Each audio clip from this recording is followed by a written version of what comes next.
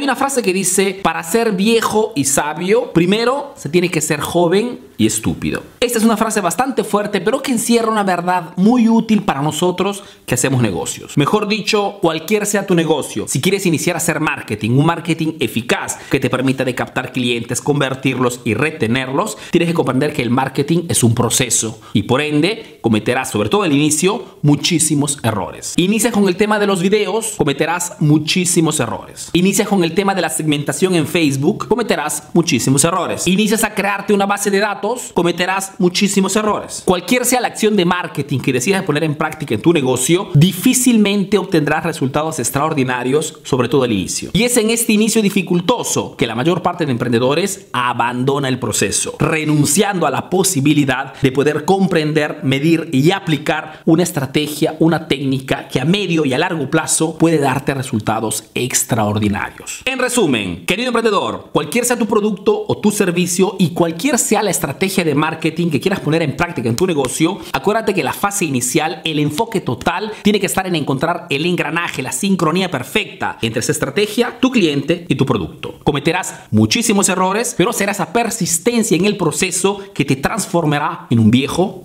y sabio.